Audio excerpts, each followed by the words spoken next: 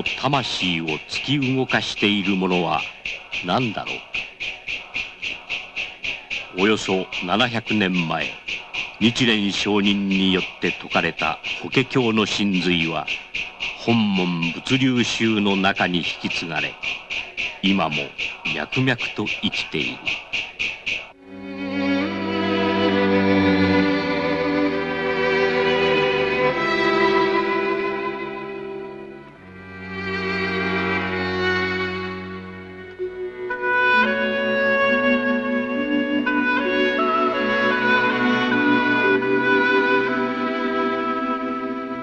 長松日銭幕末から明治にかけまこと民衆の中にあって仏の道を説き続けた人物である。日銭上人は法華経を根本の経典として本門物流宗を起こし日本仏教史に独自な足跡を残した。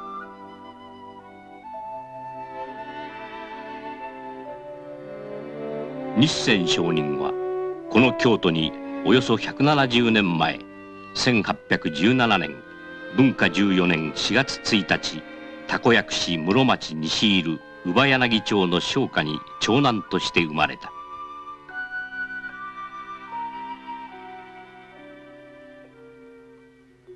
幼名千次郎17歳で元服し長松清風と名乗った。幼少より学芸に秀でた清風は書絵画をよくし漢学国学和歌に通じ25歳の時には公家の屋敷で毎月1回「源氏物語」を講じるほどの学識豊かな青年であった。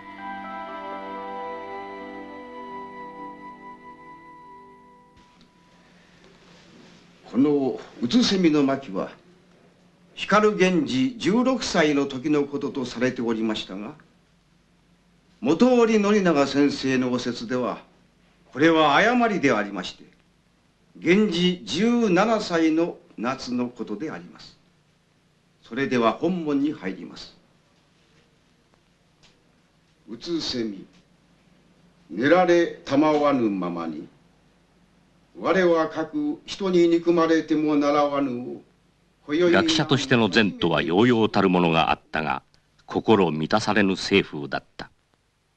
天保の大飢饉で餓死する農民大阪に支配者に抵抗して起こった王将平八郎の乱。時代は大きく動き始めていた。生きることへの疑問が政風の心に芽生えた。仏教に近づいて禅の修行もしたが答えてくれるものはなかった。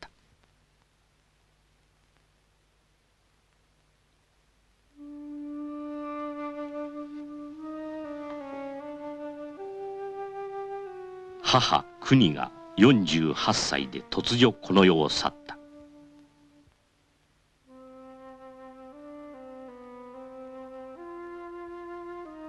父の顔を知らず母の手一つで育った政風に母の死は痛烈であっ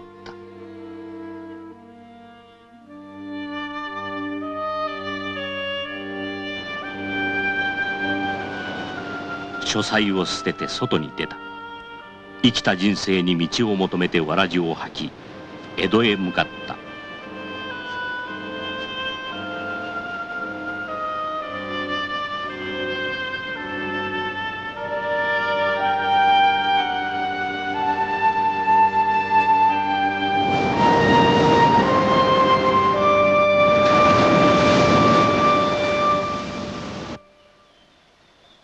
京都本能寺。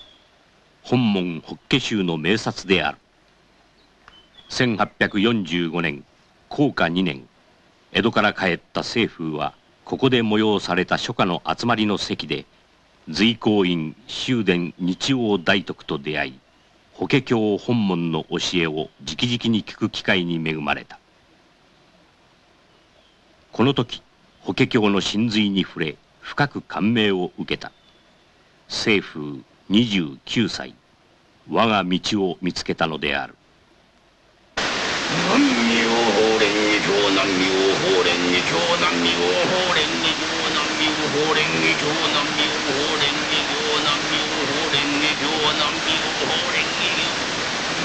南無法蓮華経政府は出家得度を望んで終電日王大徳の進める淡路島の龍泉寺に向かった。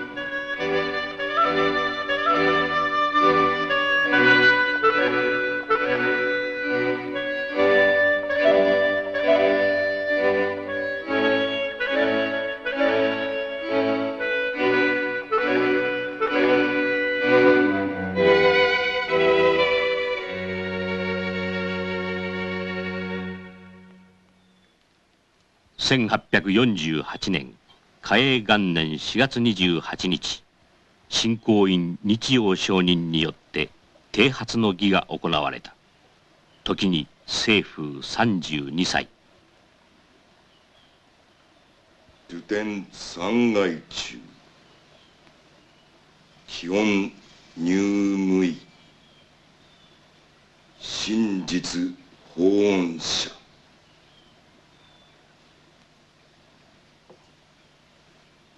日曜上人は本門法華宗随一の学識者であり進歩的考えを持ち宗門内の改革派の一人であった。政府は後にその精神を受け継ぐことになる。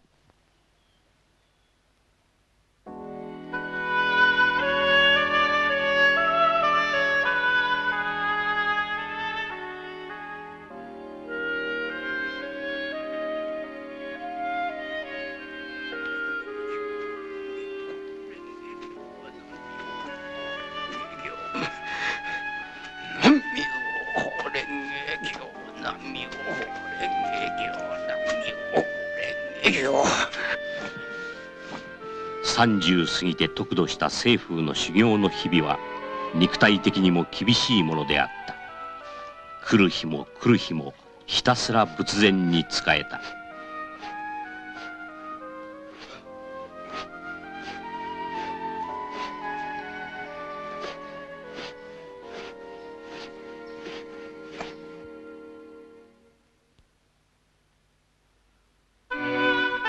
政府は日曜上人に伴われて兵庫の尼崎にある本光寺の学問所へ向かった。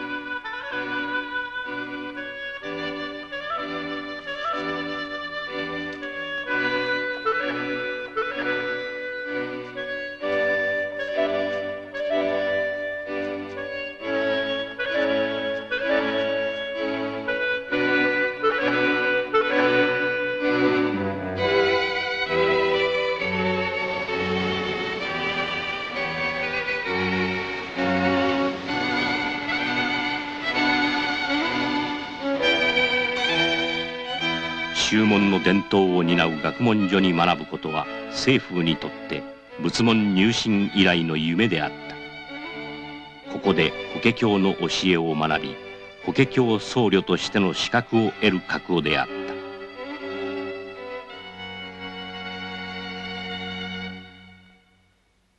た。だが思いがけぬ事態が起きた。すでに学芸に通じ一家を成した政府の入所は学問所に学ぶ他の僧たちの猛反対にあった。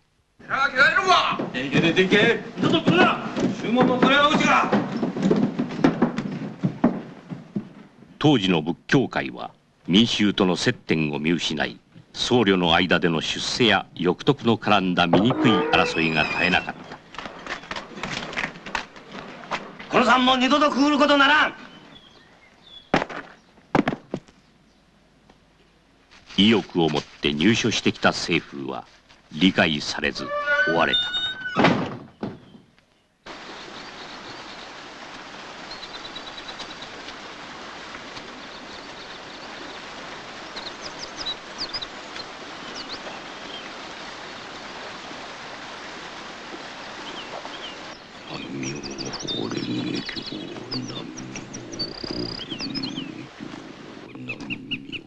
失意の政府には流浪の旅が続いた。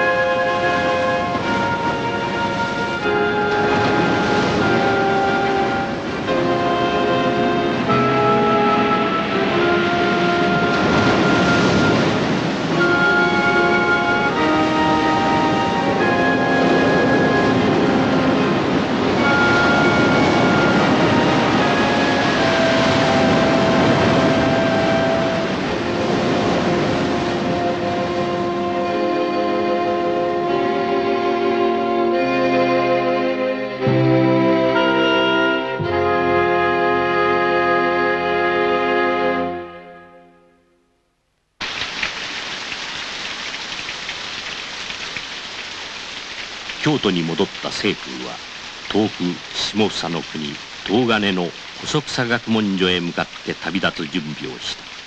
宗州へ何をしに行くんだ？細草の学問所へ入って一からやり直しだ。それは坊主の資格を取るためだろう。仏の道を人々に教えるためには僧侶の資格が必要なんだ排斥を食ろうて尼崎から追い出されたんやろ。どうしても資格に執着があるんならもう一度尼崎へ行くべきじゃないのか。誠の仏教と足らんとするならば形式は捨て去るべきじゃないか。寺も資格も必要じゃない。たとえ民家の縁先でもいい路上でもいい。聞いてくれるものを一人一人捉えて仏の道を解けばいいではないか。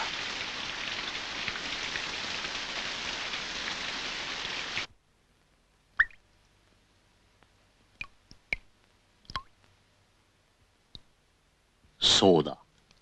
形式を捨てよう。高祖日蓮はいかに民衆に接したか。街頭に立ったではないか。突如目から鱗が落ちる思いがあった。時に政府36歳であった。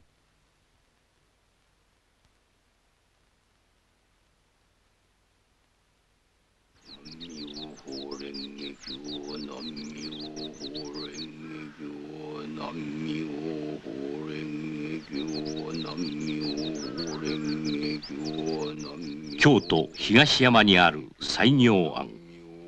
嘉永5年からおよそ2年半。政府は一人ここに住んで仏道修行に打ち込んだ。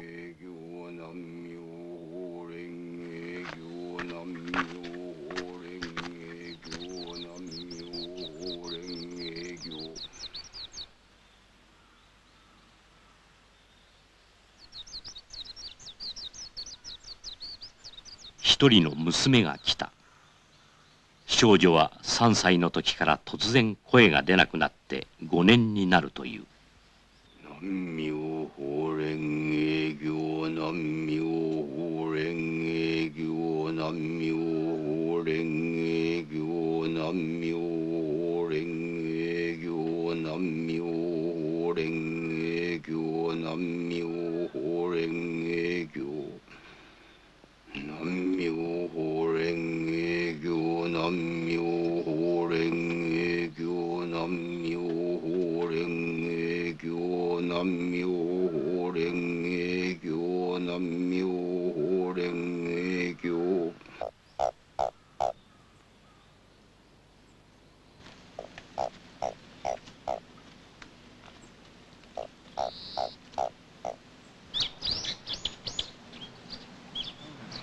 鳥が鳴いてる。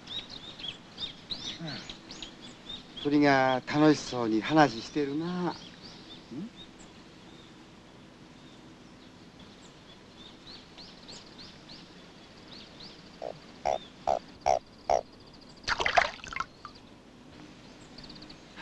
ほれ河が飛んだ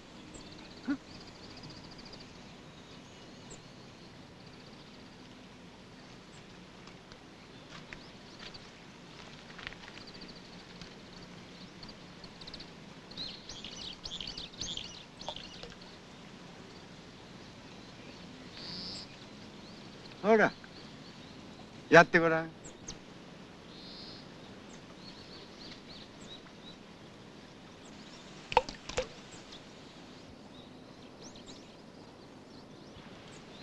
おっちゃん。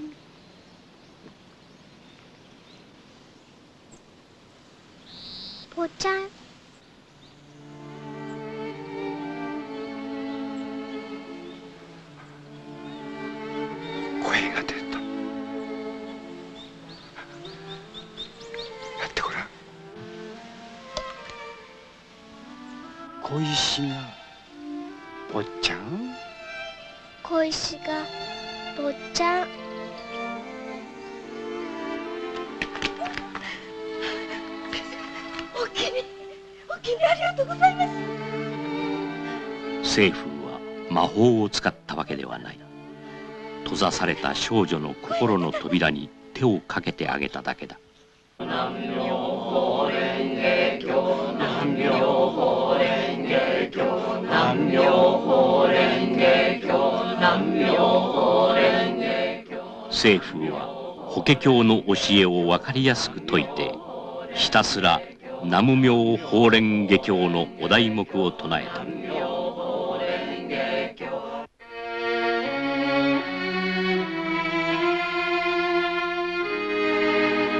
その頃から西風の身辺に危険が襲いかかった。僧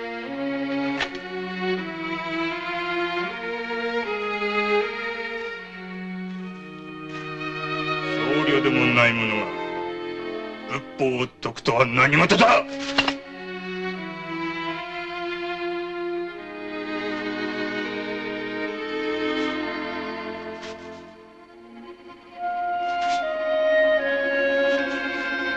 ちろん本山からの差し金だった。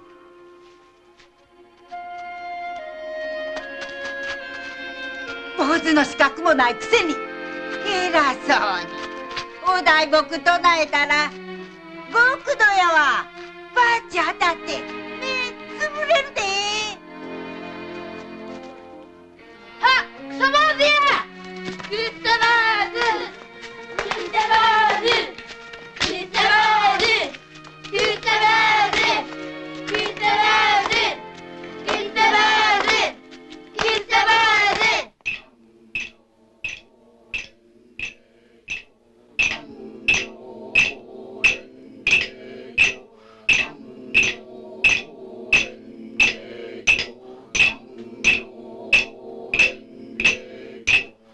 政府が新たに本門物流港を開港したのは安政4年1月12日41歳の時であった。当時の仏教教団は権威主義に落ち無気力に暗逸を貪って腐敗堕落。政府はやむにやまれる思いからついに町民たちを集め仏のご本義に立ち返って民衆の中の仏教として立たんと開港したのである。この日その席に集まったのは6人であった。ありがたいことじゃ。そもそも私どもの法華経は釈迦仏が建てられたものであります。それゆえに教宗釈迦仏の名に基づいて仏流宗と言われるべきであります。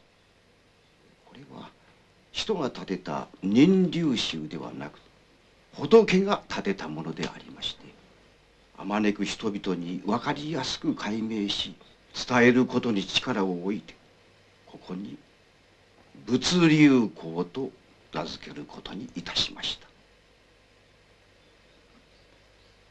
先生ありがとうございます。この項は万人をもって数えるなりと政府は本門物流港の広がりを断言した。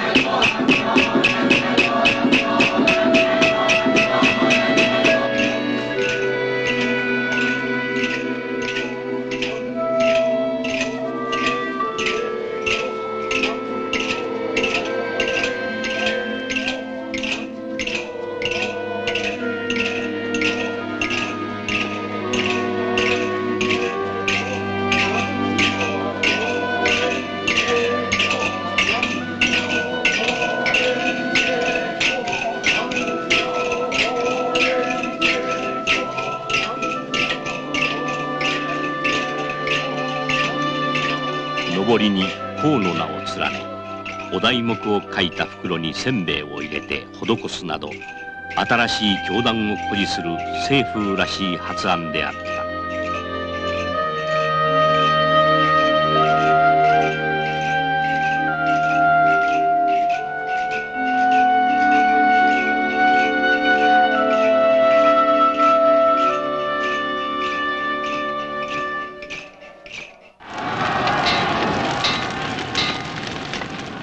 元治元年7月天栗御門の変が起こった。京都はことごとく戦火に見舞われ政府は大津の小野山官兵衛の家へ逃れた。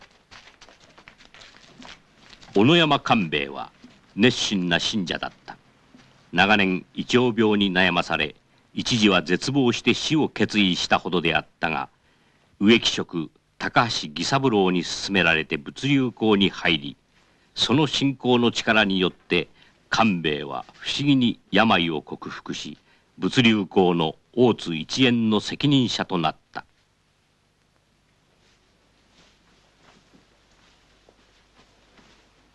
先生しばらくはこの大津を本拠にして京へご出国ください。そうさせていただこ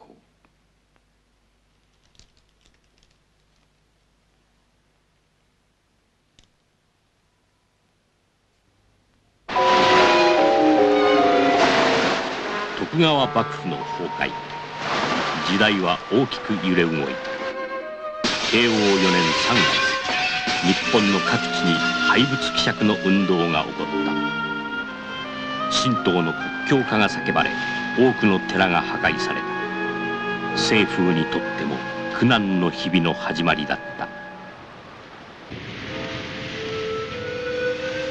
事件は慶応4年7月29日未明に起きた。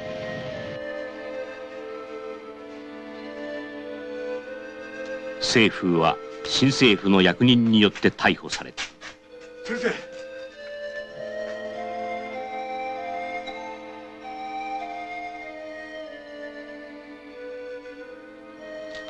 先生。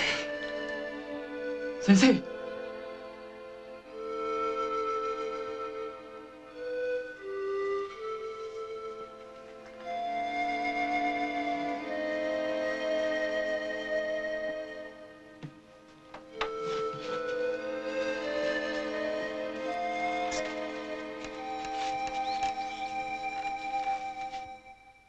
第一の法難と呼ばれるこの事件は政府のほかに大津京都の信者ら8名も捕らえられそれぞれ牢につながれた。事件の真相は本門物流港の布教活動が民衆の生活と結びつきみるみる広がることに脅威を感じていた大津64火事の僧侶が連合し政府追放を策した卑劣な事件であった。京都町奉行所に政府はキリシタンの邪法を使い庶人を惑わすものと訴え出たのである。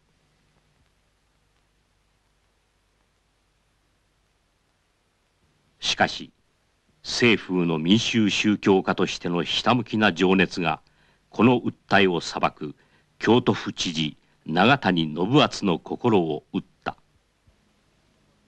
長松政府。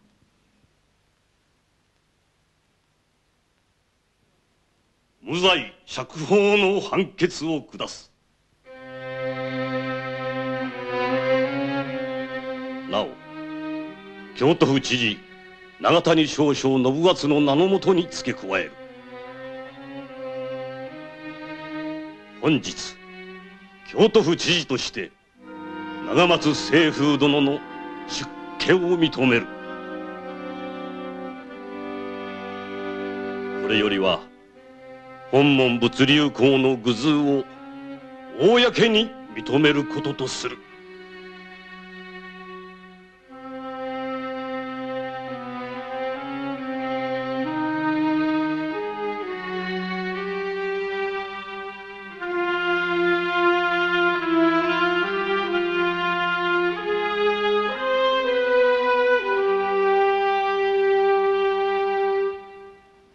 かつてここに雄星寺があった。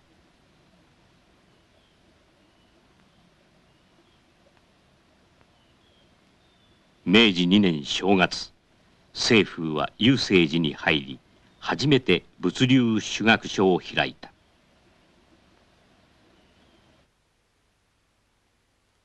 この年元気が得度し物流港は順調に伸び始めていた。政府は元気後の日門上人を雄政寺第38世住職として推挙。自らは指定信徒の教育に精力を注いだ。政府はあくまでも民衆と共にある仏教に執着し精進したのである。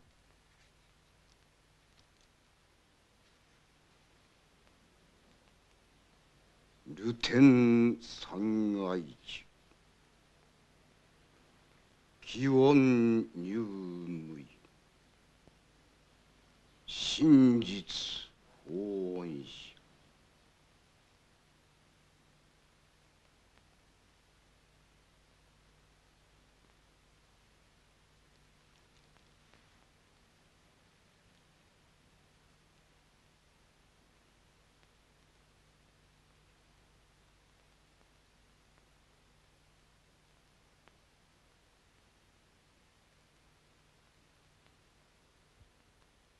信者竹内久米吉の娘栄は雄政寺で働いていた。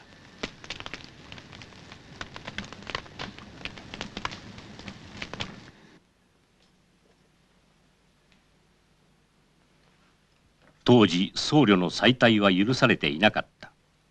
だが政府は A と結婚した。政府55歳 A26 歳。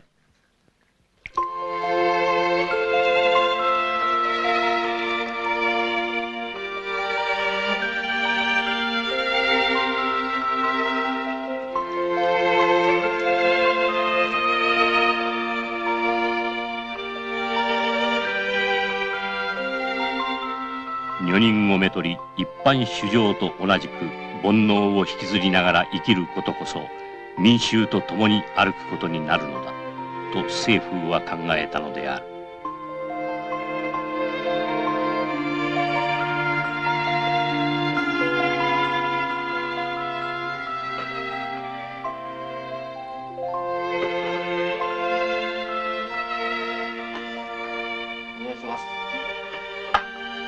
多忙な日常に追われがちの政府に代わって修学所で学ぶ若い学徒たちの日常などを親身に世話する A の存在は不可欠となっていた。しかし政府の再退には教団内からも批判があり外部からの非難や嫌がらせはしばらくの間続いた。政府はそれを承知で A を人前に出し正式の妻として認めさせた。明治政府が僧侶の再退を許したのはその翌年のことであった。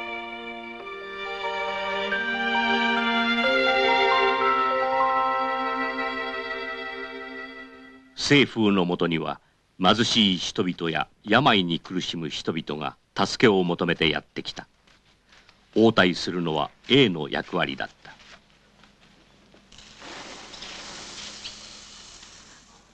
あんたお母さんは？お母さんは病気で寝ている。お医者から老害と言われています。ほなちょっと待っといやす。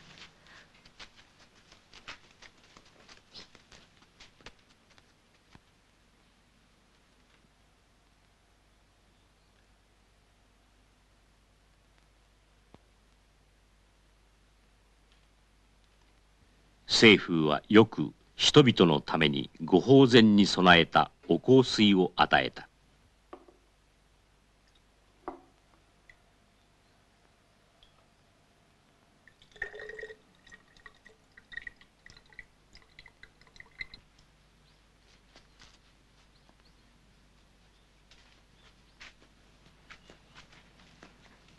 これは仏さんのお香水どすこれを病人さんに飲ましておあげやす。それからお母さんと一緒にお題目をあげはったらええ。お香水は不思議に病気回復などに大きな力を発揮しそのことが波紋を投げかけていったのである。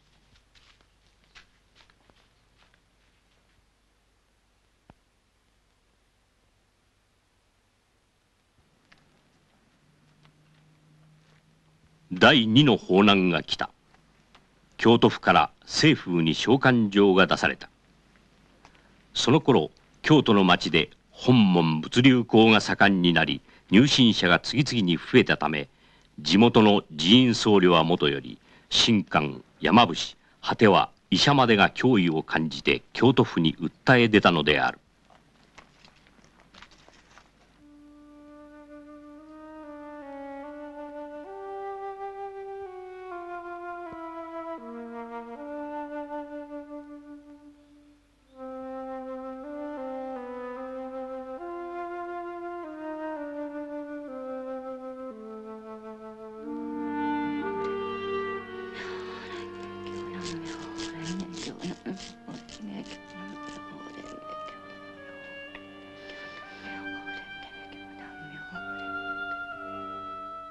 第二の法難は42日間に及んだ。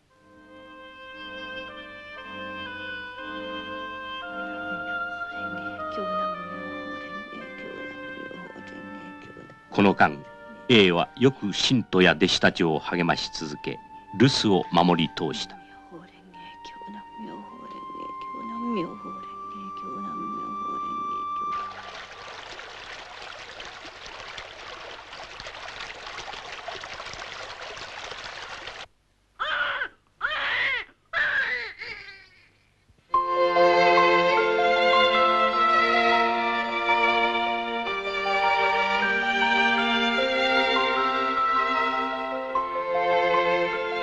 明治8年2月政府夫妻は長男この太郎を得た。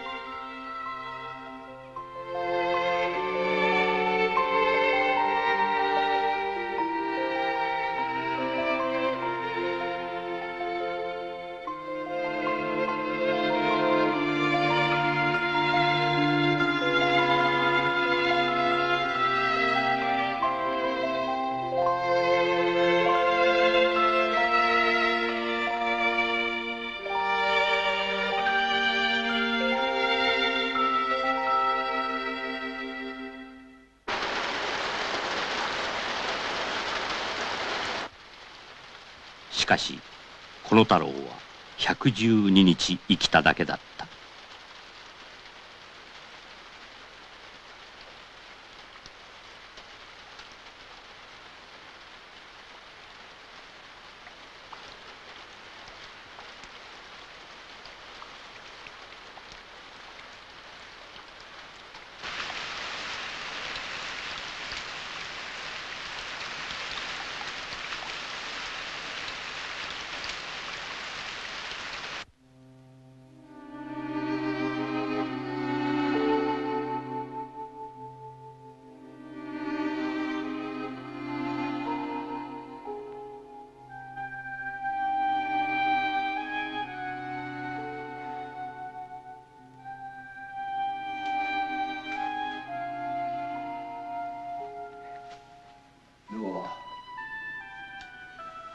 この太郎が教えてくれたんじゃ。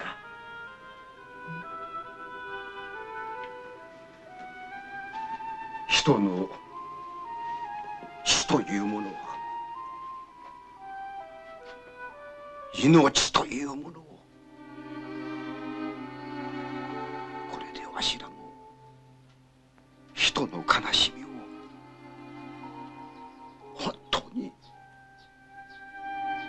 分け合うことができるじゃろう。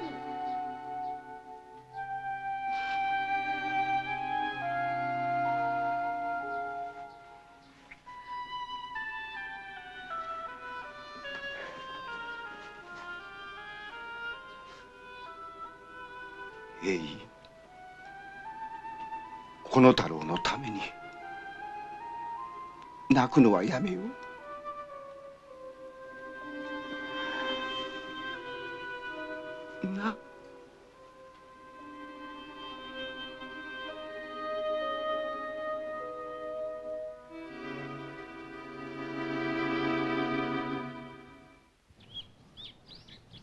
明治10年西南の駅を一つの境として明治の新体制は安定期を迎えた。宗教政策も神道一辺倒から自由な信心ができるように変わりつつあった。政府の身辺も緊迫した状況からようやく緩和されていった。この時を待っていたように政府は教団内の組織固めに取り組んだ。高祖日蓮の死から600年。日蓮門下は停滞を見せ始め僧侶は組織の中に安住し始めた。政府はマンネリ化した外形だけのものとなりつつある寺院仏教に警鐘を打ち鳴らすべく奮い立つ思いだった。明治11年本門物流公独自の法要儀式として妙高一座を制定。南無妙法蓮華経をひたすら唱えることを新人修行の根本とし万人に向かって本門物流信仰を徹底させていった。教団の紋章を仏丸に変えたのもこの時期である。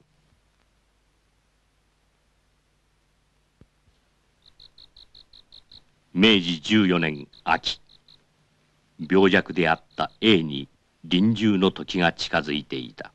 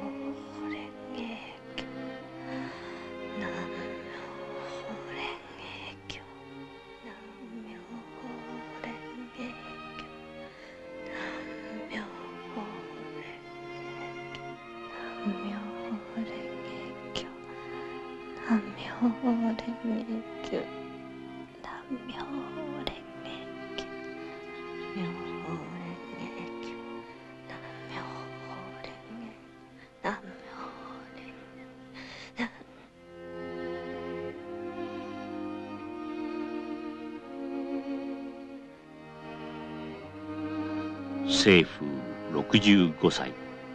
A36 歳。共に過ごした11年の歳月だった。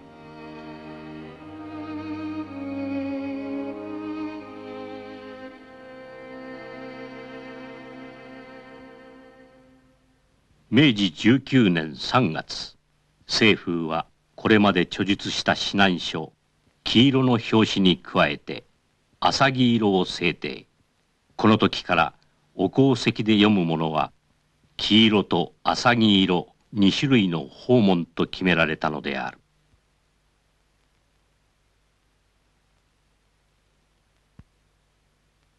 この年政府70歳。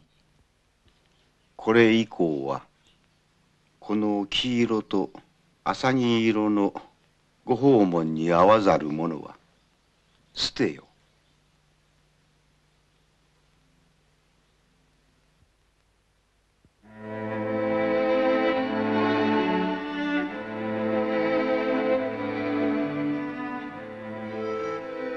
明治23年7月17日長松政府街道日泉上人は門弟信者と共に淀川を下っていた。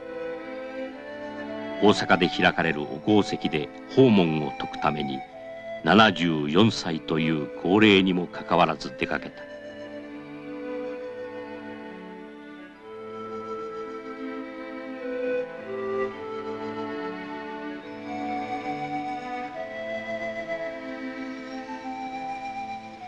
八幡山崎へかかると両岸は緑に燃えていた。商人はその景観に見入ってさも満足げであった。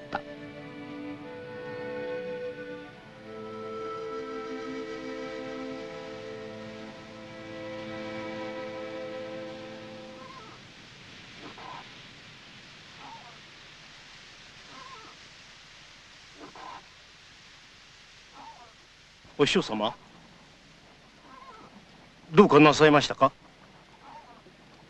いや。ご気分でも悪いのでは？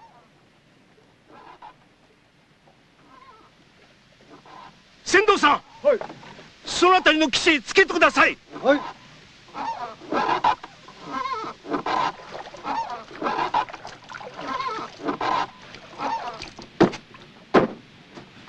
すまへん。すまへん。休ませてもらいたいんですけど。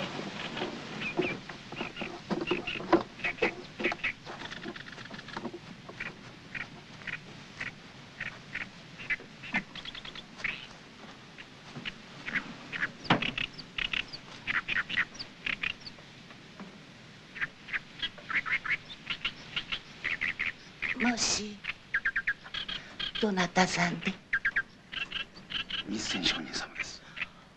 まあ日銭上人様。南無妙蓮華経南無妙法蓮華経南無妙法蓮華経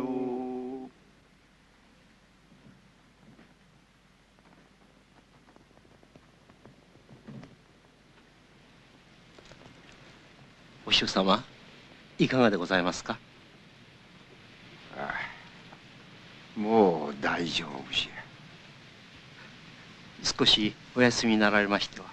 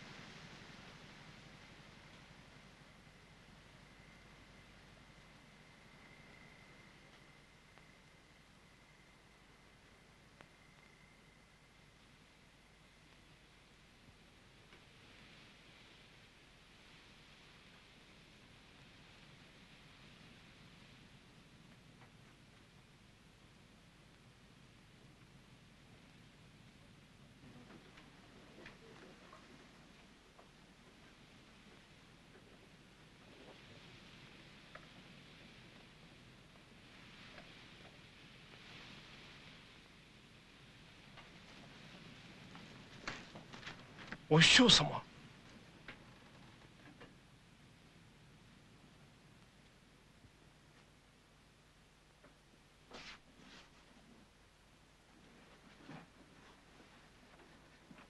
お師匠様。